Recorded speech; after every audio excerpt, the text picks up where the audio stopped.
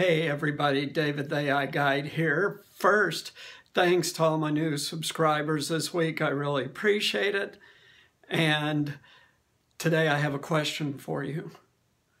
What is an exponential technology that is changing from becoming an enabling force for AI to a driving force of AI? We've talked about this technology before, and we've talked about what was an enabling, was and is an enabling technology, and we've talked about this new exponential technology and that it's converging with AI, but it really is going to become a driver of AI. Any guess what this is? Okay, well, today it's an update on quantum computing. And quantum computing is a sea change in computing. So today's uh, update comes courtesy of Axios. And there are a couple articles that came out, one just a day ago and another a couple of months ago, a few months ago. But this is what these articles are saying. First of all, Honeywell has just released a new quantum computer. And um, one of the things this article says is that quantum computers made by different companies have different architectures, so they're not directly comparable. However, the closest thing to what would be comparable in traditional computing uh, is called quantum volume, and this is this computer has the biggest quantum volume of any invented yet at 128.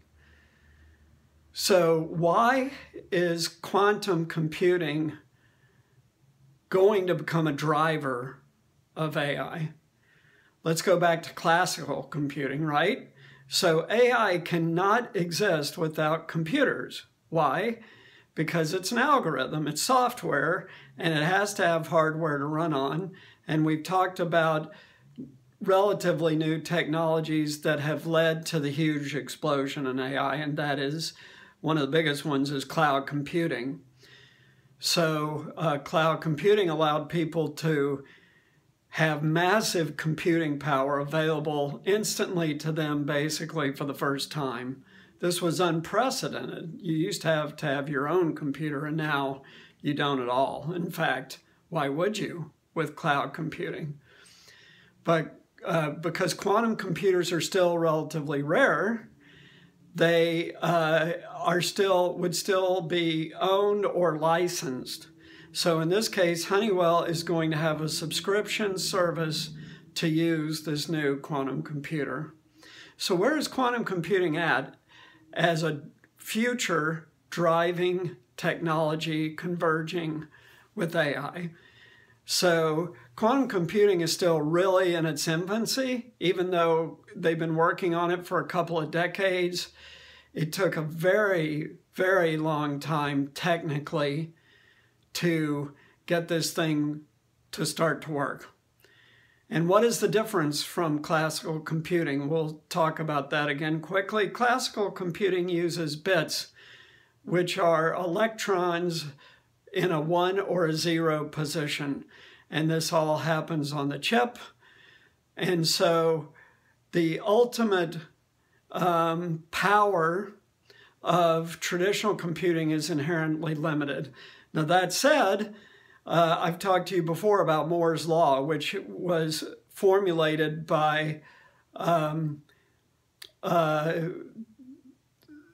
Mr. Moore back in the 1960s, early 60s, and he basically said that uh, computing power would double roughly every 18 months. That has happened and continues to happen to this day. A stunning prediction. uh, in two years, that prediction will be 60 years old and it's still happening. However, there is this practical limit to traditional computing. Um, Quantum computing does not have that limit. Why? Because quantum computing uses subatomic particles rather than atomic level particles. So atomic level, level particles are protons, neutrons, electrons. Subatomic particles are quarks, photons, and stuff like that. So uh, quantum computing has the potential to be exponentially more powerful than traditional computing. That, that's a massive statement. So that means that down the road, uh, our computing power could be exponentially higher than it is today.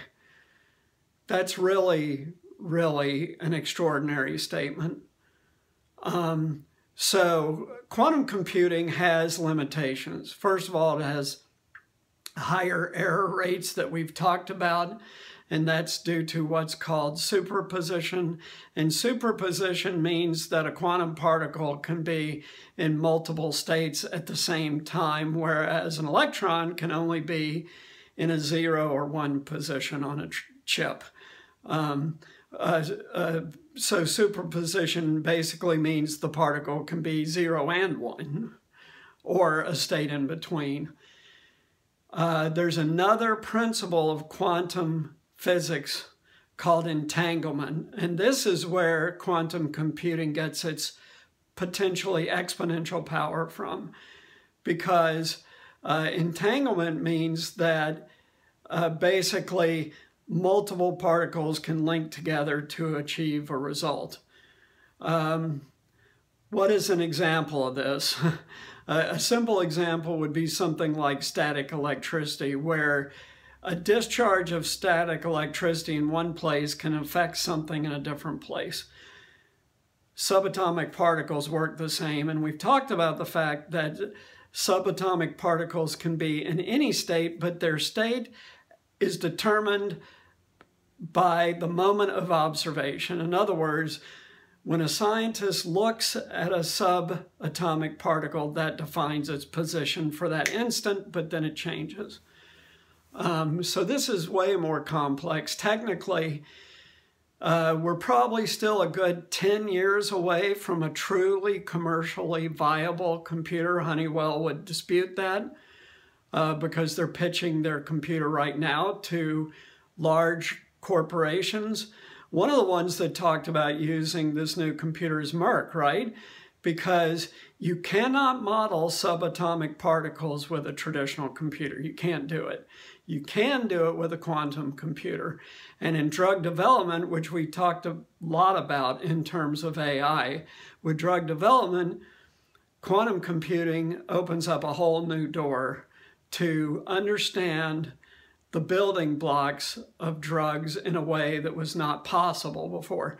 By the way, another way of doing that is there's a lot of research going on right now about drug development in zero gravity on the International Space Station at the National Lab.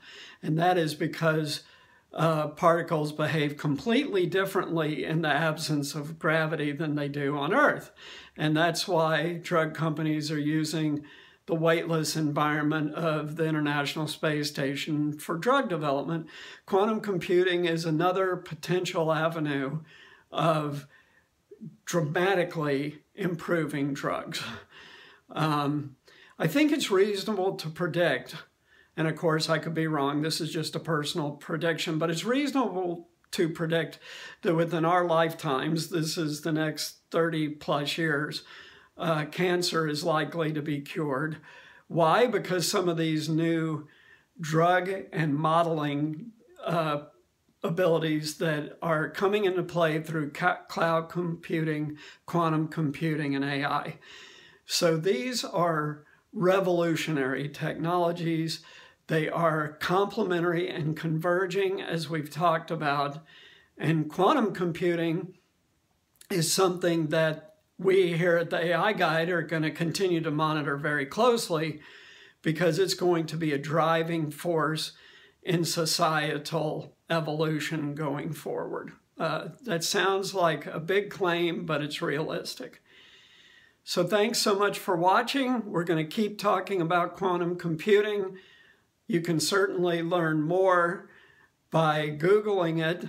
Also, uh, for all of my viewers uh, who my channel is primarily pitched to, who are in high school, college, or in their 20s to mid 30s, if you're looking for something new to do or you haven't decided what you're going to do yet, quantum computing is a field that isn't going to be impacted by AI, it's going to be grown by AI. So this is a massive opportunity job-wise. So thanks so much. I hope you like this segment. If you like it, please like it. If you really like it, please subscribe and share it. And thanks again to my subscribers.